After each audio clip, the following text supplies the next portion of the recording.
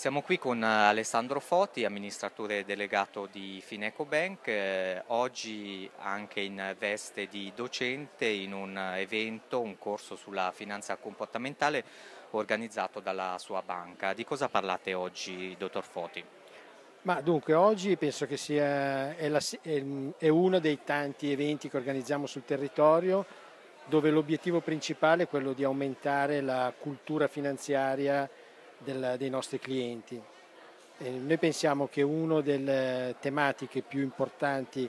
che ha di fronte a sé il Paese sia proprio quello di aumentare il livello di cultura finanziaria. Il nostro è un Paese che è caratterizzato da un'anomalia, tanto risparmio e poca cultura finanziaria.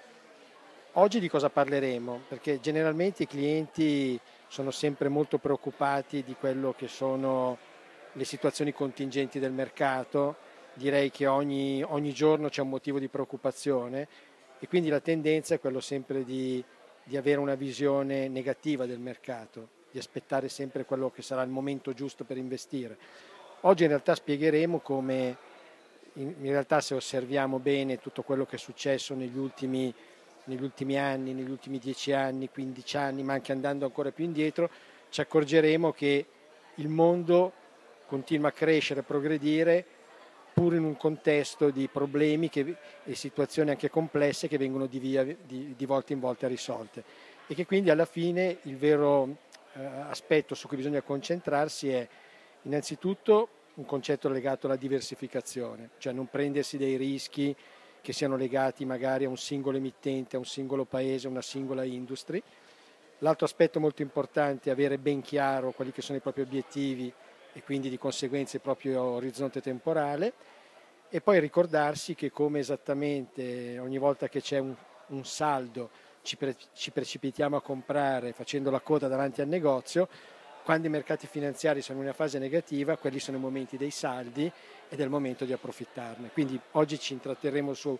aspetti che possono sembrare molto banali e semplici, ma che alla fine sono poi quelle che devono essere le, le guide nei comportamenti di tutti i giorni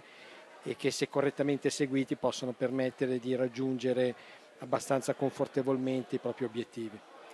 Ecco, in uno scenario di tassi a zero e di mercati azionari che hanno diciamo, un andamento tutto ancora da interpretare, difficile da interpretare a priori, visto che ci sono alcune eh, scadenze elettorali che possono condizionare i mercati, per il consulente, la figura del consulente, qual è un po' il messaggio che deve comunicare alla clientela in questo momento secondo la vostra visione? Ma innanzitutto il contesto di uno scenario caratterizzato da tassi che sono a zero se non addirittura negativi,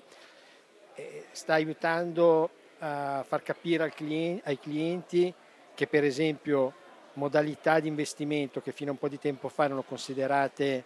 assolutamente adatte come il parcheggio della liquidità sul conto corrente non lo sono assolutamente. Ricordiamoci che gli italiani presentano a tutt'oggi una, un problema nella loro asset allocation perché più di un trillion di euro della ricchezza finanziaria delle famiglie parcheggiata sui conti correnti, quindi è evidente che questo non è il modo migliore per investire.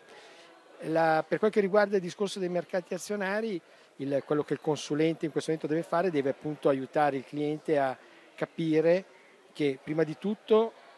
co- sistematicamente il mercato propone delle cosiddette scadenze, dei momenti difficili. Cioè noi siamo, abbiamo appena passato la Brexit, che adesso è stata quasi completamente dimenticata e siamo pronti ad affrontare le scadenze elettorali e il referendum. Se ci guardiamo indietro abbiamo avuto la Grexit, poi abbiamo avuto la presunta crisi della Cina all'inizio dell'anno, insomma, però alla fine su, sul medio-lungo periodo i mercati vanno dove devono andare, cioè l'economia del mondo non può altro che continuare a crescere e quindi il consulente in questi momenti deve aiutare il cliente a